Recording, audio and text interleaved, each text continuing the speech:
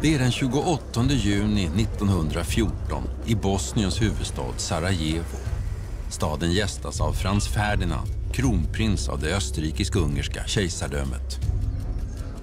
Plötsligt hörs skott.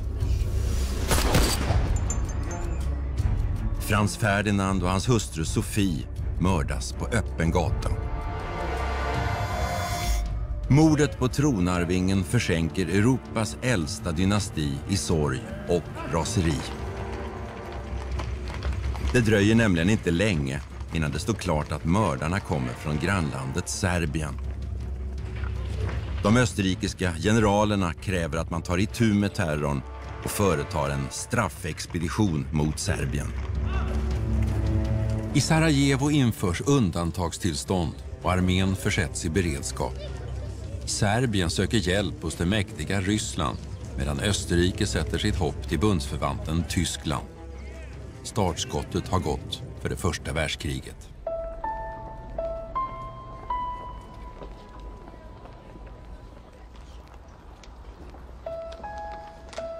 Kom och köp! Köp tidningen. De vildaste rykten cirkulerar. Ingen vet vad som är sant eller fantasi. Kriget kommer snart till Sverige. Storkrig i Europa. Tyskland lär ha besatt Åland och ett par av de danska öarna. Danmark ska ha begärt hjälp av England. Kom och köp tidningar. Storkriget kommer till Sverige. Idag sa man att Tyskland förelagt Sverige ett ultimatum att inom 24 timmar till klockan fyra imorgon förklara sig för eller emot Tyskland.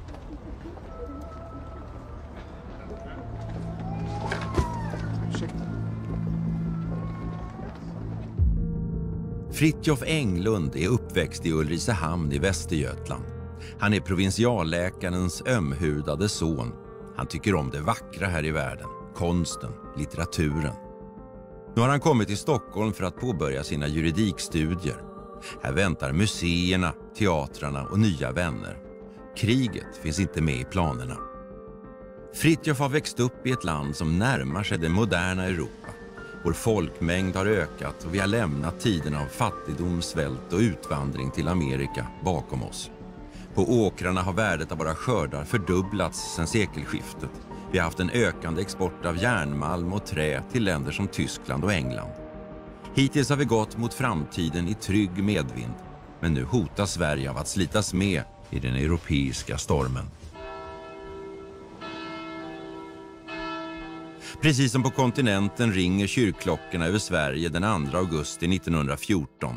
Vi nås av rapporter om att Härnösand ligger under bombardemang, att ryssarna anfallit Gotland och att tyskarna intagit Danmark. Kriget verkar plötsligt nära och svenskarna förbereder sig på det värsta.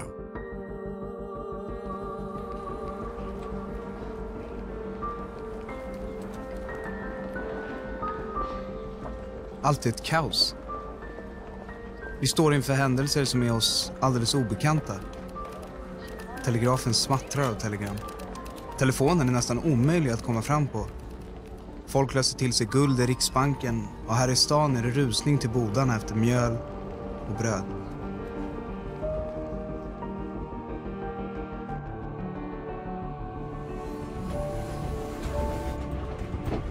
Ute i Europa under sensommaren 1914 rullar tågen med trupper.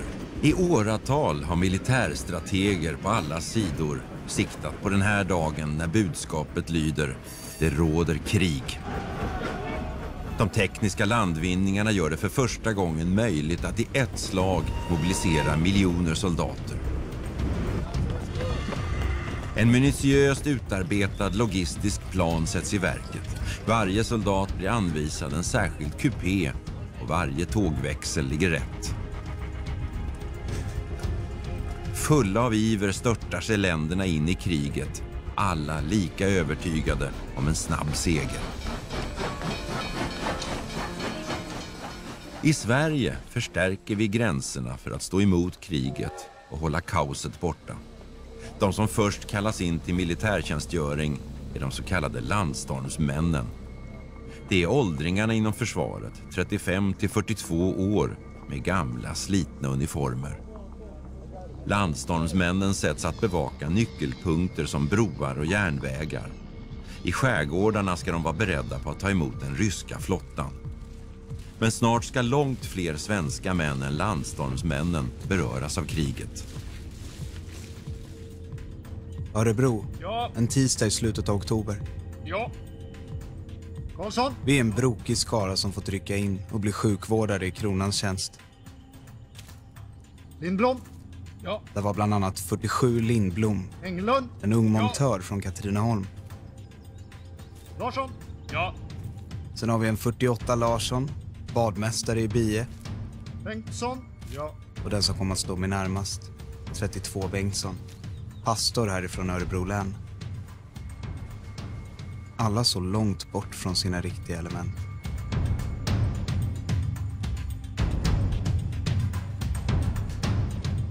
Trots vår vilja att stå neutrala kan Sverige bli anfallet och vi kan bli tvingade in i det nya kriget.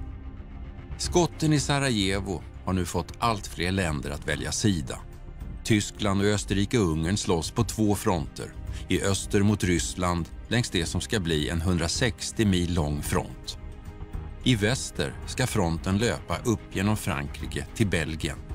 Ett Belgien som liksom Sverige velat stå neutralt. Men tyskarnas vilja är annorlunda och enligt planerna skulle Belgien vara avklarat på nio dagar. Tyskarna var lika lite förberedda på belgarnas motstånd som på slagkraften i den brittiska yrkesarmén. I ett slag som varade i flera dagar stoppade fransmän och britter tyskarna strax före Paris. Det blev en vändpunkt i kriget som i Frankrike går under beteckningen undret vid Marne. En mycket viktig seger efter de första veckornas ideliga förluster. Fortsatta tyska offensiver misslyckas, men det gör också offensiverna på fransmännens och britternas sida. Soldaterna är helt enkelt slutkörda.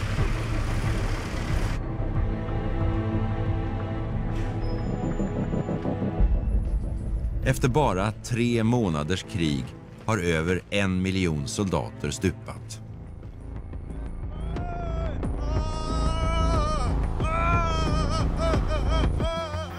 Varje övning tas på största allvar.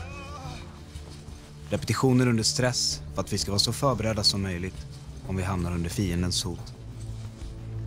Englund? Vid den där typen av benbrott ska spelarna ligga på andra sidan.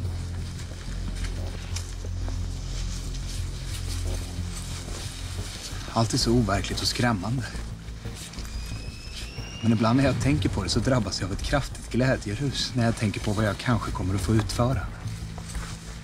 Jag ber att Gud ska ge mig styrka och manligt mod och att det blir en hedlig man och soldat om striden väl stundar.